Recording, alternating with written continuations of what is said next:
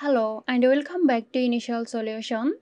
In this video, I will show you how to fix account not found on TikTok. Let's have a look now.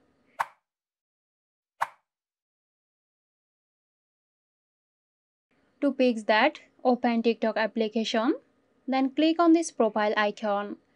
Click on these three lines. Then tap on privacy and security. Scroll down a bit and find the cache section. Click on free up space. Then click on clear. This will clear the cache from TikTok. Now go back to your home page and search for the account. If it's not working, then you have to uninstall TikTok and install again. A new installation apps won't have bugs and glitches and it will solve your problem. After you do these two steps, if you still have a problem, then maybe it's not a glitch on your side.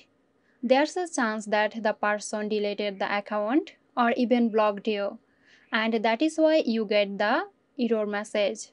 So there you go. Hope you found this tutorial helpful. Stay tuned for more helpful tutorials here at Initial Solution. This video is sponsored by Zerosoft. Zerosoft offers graphic design, UI UX design, digital marketing and web development.